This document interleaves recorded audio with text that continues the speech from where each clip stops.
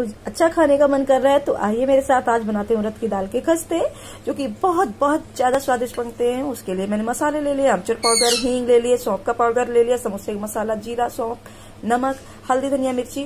चलिए, और ये मैंने दाल को भिगो के अच्छे से पीस लिया है। बहुत महीन नहीं पीसना है इसको। सौंप जीरा, हींग डालेंगे। हल्दी ऐड कर, दाल ऐड करें और इसको बराबर हमें भून लेना है, जब तक ये बिखरी बिखरी ना हो जाए। ऐड कर देने बचे हुए मसाले।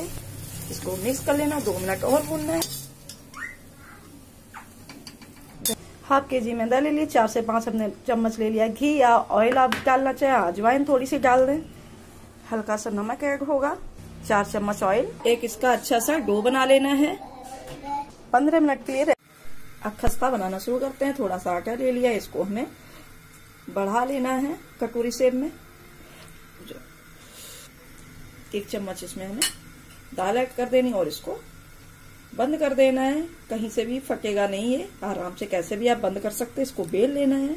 सभी खस्ता ऐसे ही बना के तैयार कर लेंगे। तो चलिए इनको फ्राई करते हैं। इनको फ्राई करने में कम से कम 15 से 20 मिनट लगेंगे। बिल्कुल मीडियम आँच पे इन्हें हमें फ्राई करना है। हाई फ्लेम पे नहीं फ्राई करना है।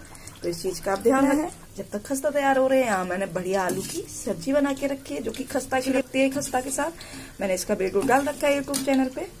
ये देखिए, क्रिस्पी क्रिस्पी खस्ता बन के तैयार हो गए अभी तक आपने अगर हमारे चैनल को सब्सक्राइब नहीं किया तो प्लीज़ लाइक शेयर सब्सक्राइब ज़रूर करें और फॉलो भी करें।